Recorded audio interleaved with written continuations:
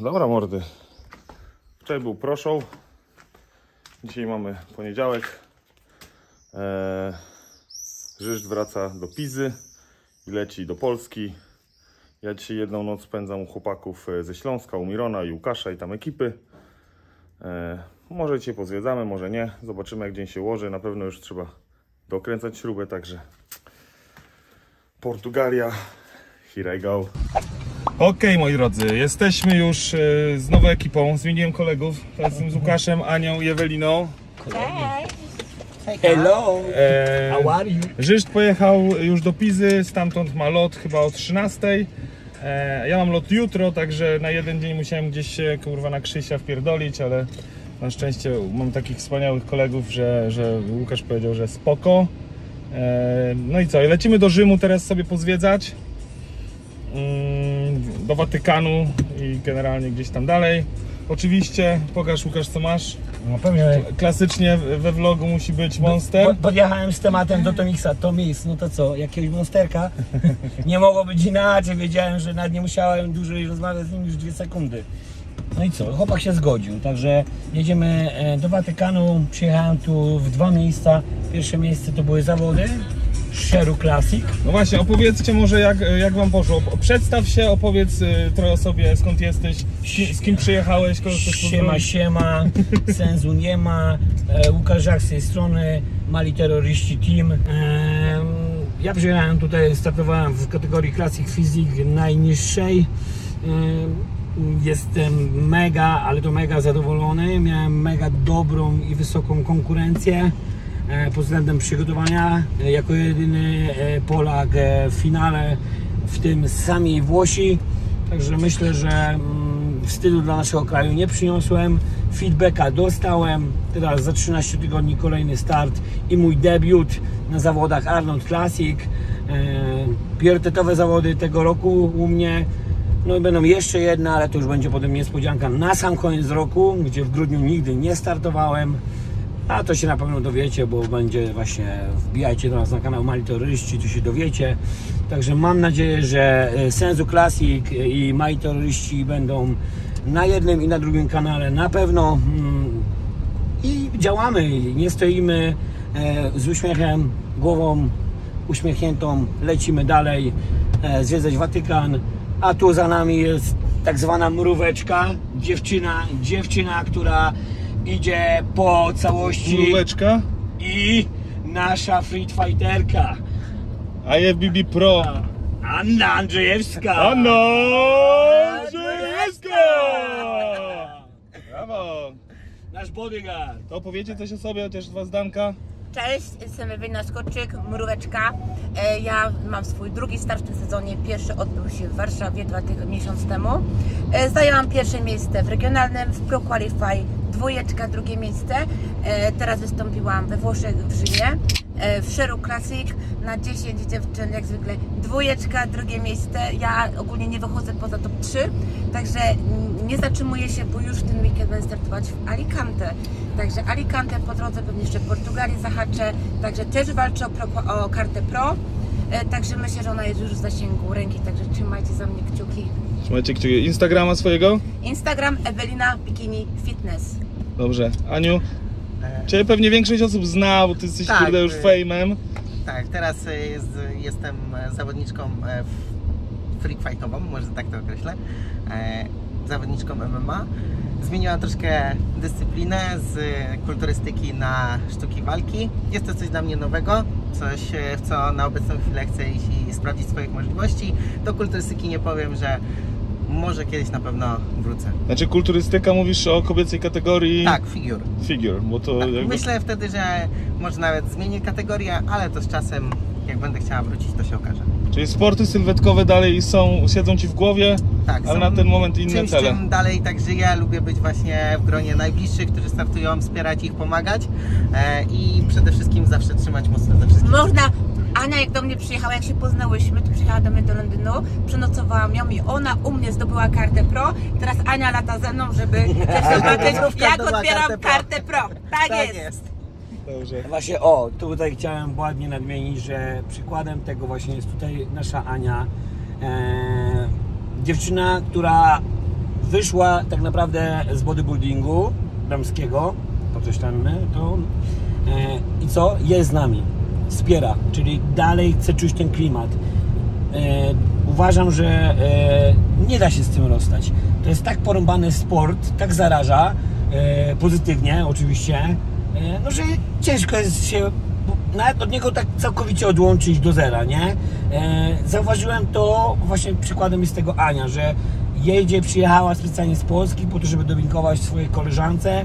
Jest to bezczelnie piękne. Dla No, mnie jest to bezczelnie jest to. piękne, e, tym bardziej, że była razem z nami, czuliśmy ten klimat w trzecich zawodach, umiała się zachować, wiedziała, e, że w tym momencie na przykład ta osoba potrzebuje to czy to i to jest po prostu dla mnie uważam coś pięknego. Dużo ludzi postrzega to całkiem inaczej. E, Ja postrzegam też to całkiem inaczej, jak każdy jest, można powiedzieć, inny. Ale tak jak mówię, jak się zarazisz, nie da się tym wyleczyć. Już ta choroba zostaje. Że... Na całe życie. Też Na- można podkreślić, że w ogóle tutaj się poznaliśmy, bo Łukasza nie znałam, znaliśmy się tylko przez internet, e, szukaliśmy w ogóle, wiesz, wspólnego e, zakwaterowania i sporty sylwetkowe też fajnie łączą, bo można fajnych ludzi poznać, nie? Prawda? Tomix? Prawda? Nie, gen- Komiks. generalnie to wiecie, sporty sylwetkowe jakby w teorii są bardzo indywidualne i dość egoistyczne i takie, że bardzo mocno skupiasz się na sobie, przez to osoby, które nie są związane z tym światem czasem nie rozumieją, e, zwłaszcza w tym okresie przygotowań, no bywasz osobą nerwową, drażliwą, zmęczoną, e, ale... Głodną. No głównie dlatego, że jesteś w deficycie kalorycznym. po Ale prostu... po zawodach się wszyscy bardzo zżyci. Ile, ile... ale, ale generalnie jakby jeżeli właśnie tak jak Ania na przykład, mimo że nie startuje, ona wie dokładnie jak się czuje zawodnik przed startem, dlatego dla niej pewnie te wszystkie mm, klimaty przedstartowe są ok. Oni tak teraz mają, to tak jest, ktoś ma start tego dnia, jest waż, najważniejszy. Każdy nawzajem się tak na dobrą sprawę rozumie, czy tak jak tutaj e, w Gorsze dni, gorsze sportach chwile. sylwetkowych, tak jak i u mnie, jak e, robiłam wagę do walki, tak samo osoby, które są w sporcie mnie zrozumieją, a osoby, które w ogóle, wiesz, e, wystartują sobie raz i nie żyją tym tak na dobrą sprawę, to nie są w stanie zaakceptować tego, co ja przeżywam, co ja przechodzę i że jednak dla mnie cel to jest tylko to i idę mimo wszystko A tak właśnie, opowiedz, bo ja tutaj przyjechałem dzisiaj do, do ekipy i Ania mnie zszokowała. Ja nie wiedziałem, że sam zbijałem wagę teraz. W dwa dni musiałem zbić 7 kg i było to dla mnie no, ekstremalnym wydarzeniem, zwłaszcza, że jeszcze miałem lot dnia, w, dnia, w dniu ważenia. E, Ale Ania do, przeszła, przeszła mnie chyba dwukrotnie, tak? Bu, e, mało powiedziane. Ja też zbijałem wagę i dobrze o tym wiesz, i to bardzo mocno. E, ja nie jadłem 21 godzin. Zarąbałem Skylanga w Hiszpanii 28-piętrowego 28 razy i nie jadłem 21 godzin. Dopijałem delikatnie A ile, wody. ile zbijałeś? Zbijałem chyba 4,5 kilo, czy 5 prawie. A Ania do mnie powiedziała, że była na 600 kaloriach, na 600 kaloriach i dwa, Ania, czy trzy dni nie- prawie nie jadłaś? Ponad 3 dni nie jadłam, nie No. piłam e, 2,5 dnia, już przed e, taką końcem wagi. Jadłam 600 kalorii przez 3 tygodnie, z czego 3 godziny cardio, dwie jednostki treningowe, e, raz e, MMA, a raz stójka. Więc jedno, co powiem każdemu, nie ma rzeczy niemożliwych. Jak chcesz, to dojdziesz do każdego celu. To jest serce sportowca. A potem ktoś ci mówi, kurwa, że on ma pracę od 8 do 16 Tak. i on, kurwa, ma problem, żeby pójść na, pół, go- na, na godzinny trening wieczorem, czy rano, czy kiedykolwiek, nie? Ja wiem, oczywiście, Ania ma czas i ona, kurwa, nie ma obowiązków, Ani, nie ma ani doba życia. trwa 72 Tak, godziny. pieniądze, pieniądze, kurwa, znajduje na ulicy, a wszystko się robi Nie, samo. Ale powiem wam tak, nawet jakby wam, kurwa, zapłacili w chuj siana, I tak tego nie zrobicie. i, i, i by wam dali kurwa wolne na miesiąc, to i tak kurwa mało kto byłby w stanie zrobić 3 godziny cardio dziennie, 3 godzi- y, zjeść 600 ka- jeść przez 3 tygodnie 600 A kalorii wiesz, jeszcze kobieta, i przed która wagą kurwa jeszcze takie ekstremum musisz zrobić. rzucić 16 kilo, ale w większości to masy mięśniowej, to jest kolejne wyzwanie, bo ja sama się zastanawiałam, czy to jest w ogóle realne. Wiadomo, myślę, że jakbym była gruba, to byłoby mi zdecydowanie łatwiej niż... E, o, o, o, o, o, o, o, słuchajcie, słyszeliście co będzie? Jakby była gruba, podkreślamy. Więc grube macie łatwiej. Im mniej masz do zrzucenia, tym jest ciężej. Taka jest prawda. Jednak naprawdę dla mnie było to przeogromnym wyzwaniem i powiem Wam, że to jest coś niesamowitego, co przeżyłam. Jak miała przeżyć to jeszcze raz, to tak nie do końca, ale myślę, że jakbym kolejno wpadło mi jakieś głupie wyzwanie do głowy, to podjęłabym się każdego. Na przykład zjedzenie 11 gałek lodów, kurwa. Ja, jak ktoś chce się zmierzyć na lody, to ja zapraszam, pierwsza. na, wy, wy, wyzywam, wyzywam. Mrówka, wyzywam cię na pojedynek z jedzeniu pączków. Musisz być lepsza od Szymona Łady. Szymon Zjadł Łada- 9 9. naładowanych, 850 kalorii miał jeden. Wow! Uuu, 850 kalorii miał jeden pączek. Grubo, Co się grubo. stało? Zapytajcie Szymona. Jak odeszłem, zamknął oczy i otworzył za 50 minut. Czy zjedzenie 10 pączków 850 kalorii, czy zbicie 16 kg jest cięższe? Zadecydujcie Czyli sami. 10 pączków, Opowiedzcie, czyli 10 opowiedzcie w pączków, 8,5 komentarzach. koła. Ania Andrzejewska na Instagramie, Anna Andrzejewska IBB Pro, chyba tak? Tak. E, sprawdźcie koniecznie, no bo kurwa, no takich rzeczy normalnie ludzie nie robią, nie? Znaczy ja jestem, ja jestem yy, w ogóle kurwa czuję się zaszczycony, że mam e, okazję poznać taką osobę i jakby z nią normalnie kurwa jechać, zwiedzać sobie Rzym, nie? Rzym. Bo, bo takich osób nie spotyka się codziennie i naprawdę mega szacun i kibicujcie jej na najbliższej gali, nie wiem czy Ej, najbliższej czy obstawiamy, obstawiamy Anię, pamiętajcie. W tym roku zawalczę na pewno, a wszystkie informacje, że to tak określę, to już jak będę wiedziała na pewno, to każdy się dowie. Ania przyjechała do mnie po kartę pro, ja jedę do Ani na galę obserwować jej walkę. Wszyscy jedziemy. A jak? No raczej, na pełny wjeżdżamy. Ej, jak wczoraj, albo grubo, albo wcale.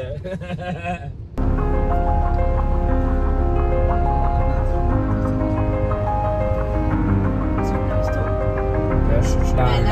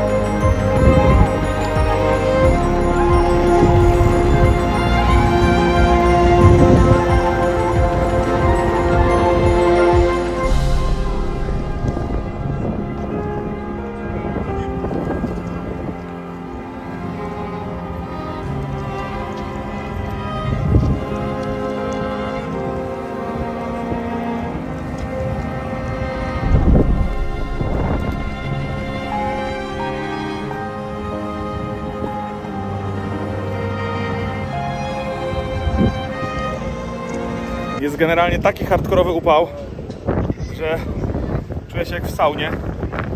Normalnie aż ciarkiem przychodzę, jest 40 stopni. Że aż nawet się nie pocę, nie mam wody.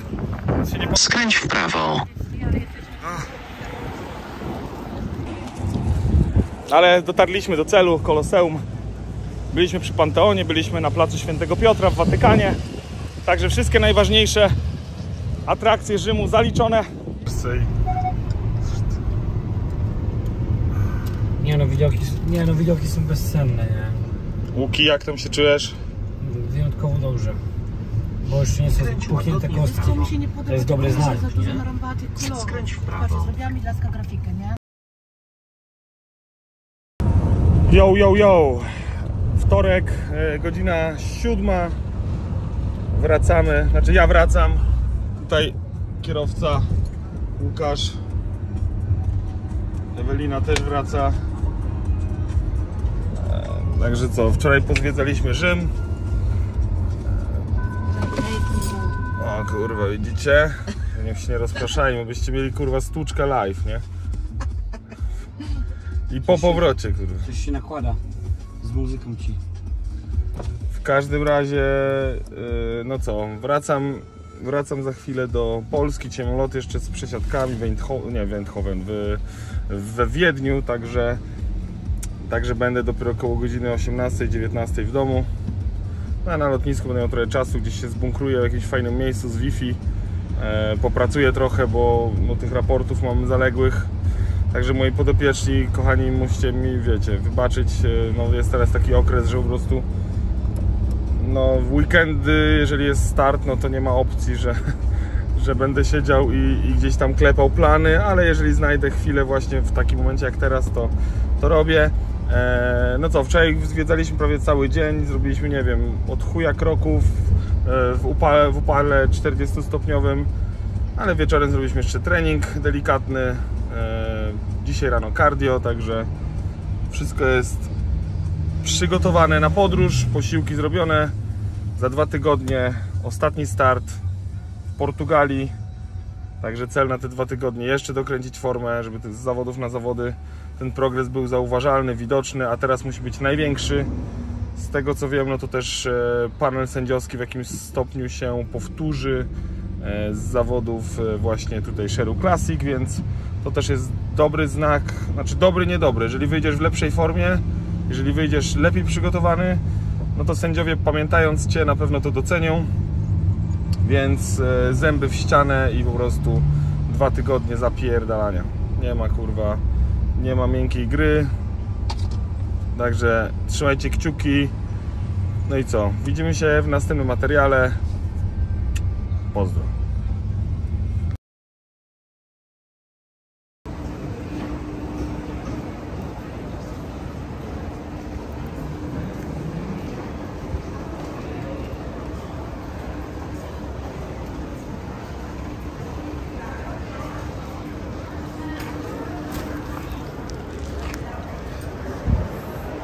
Lotnisko Roma Fiumicino, Fiumicino, Fiumicino. Nie wiem jak to się czyta, jak to się wymawia. W każdym razie ogromne lotnisko, chyba główne, największe lotnisko w Rzymie. Stąd mam wylot do Wiednia. W Wiedniu 5 godzin przesiadki i lecę do Gdańska. Także cały dzień w podróży, ale na spokojnie jestem już pod gate'em, także Idę się wychillować. Za godzinkę mam lot.